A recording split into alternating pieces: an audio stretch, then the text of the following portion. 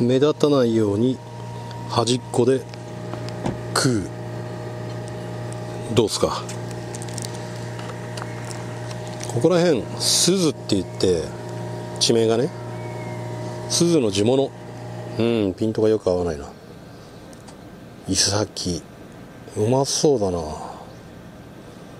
店で食ったら多分軽く倍はいくだろうからね。とりあえず朝早すぎて飯屋が開いてないんでここで今食っちゃうことにします。いただきます。これ結構量入ってるね。2人前ぐらいあるんじゃないの？醤油を直がけで。いただきます。おうまそうだなこれ。それでは本日の朝飯をいただきたいと思います。鈴さんのイサキの刺身です。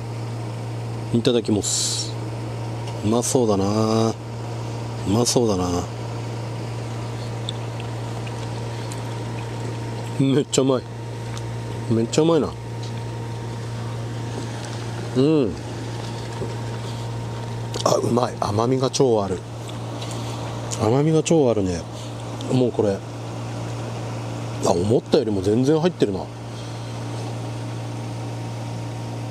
これ半分取っといてもう一食分にしてもいいかも。うんだね。半分取っとこっかな。その方がいいね。うまい。めっちゃうまい。うんうん。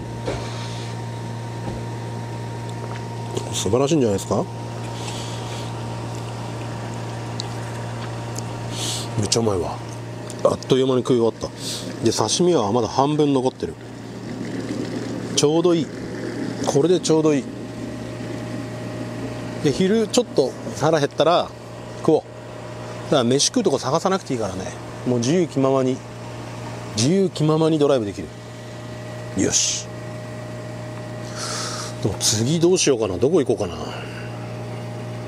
とりあえず海行って考えようかな。ほい。余った刺身はこの中にぶち込んで置くんだけどこれ中で暴れそうだな。なんか袋に入れとこうか。さあさあこれ温度を今15ってあるんですけどこれしばらく車止めてたんで庫内の温度が上がっちゃっただけであって設定はですねマイナス20度になってるでしょ？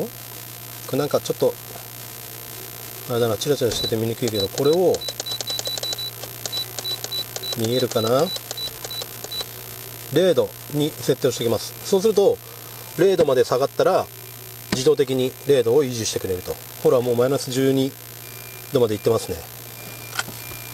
いいんじゃない？いいんじゃない？